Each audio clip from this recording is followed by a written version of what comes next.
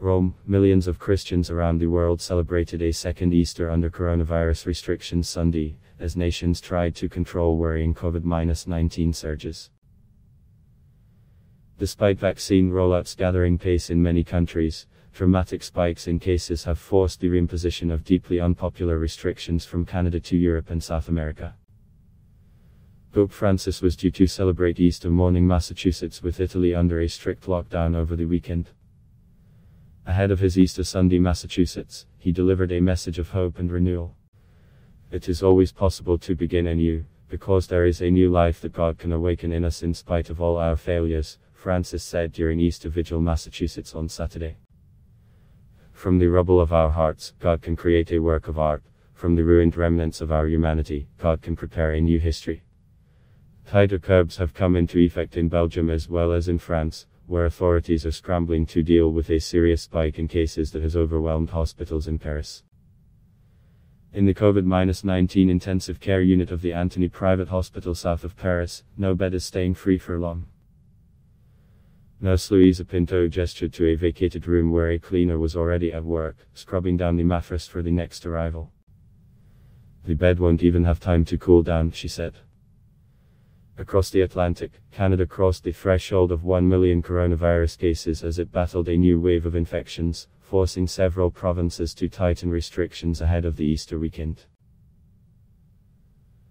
And celebrations have been dampened in South America too, where Brazil is in the grip of a devastating outbreak likely fueled by a more contagious variant.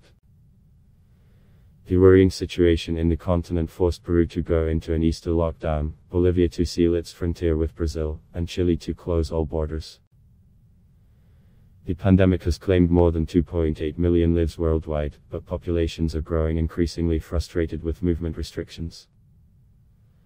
Thousands protested in the German city of Stuttgart on Saturday against COVID 19 restrictions, with a heated debate underway in the nation about tightening them in the face of a third wave of infections.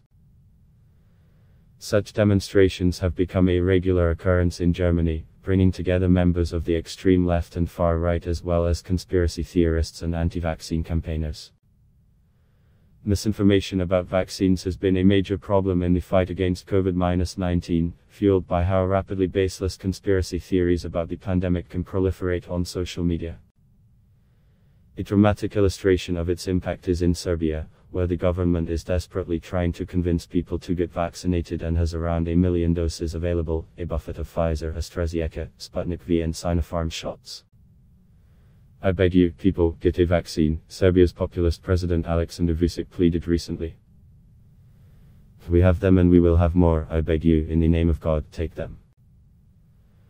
Serbia's leading epidemiologist Predrag Kon said the slow take up is solely a consequence of anti vaccine misinformation online.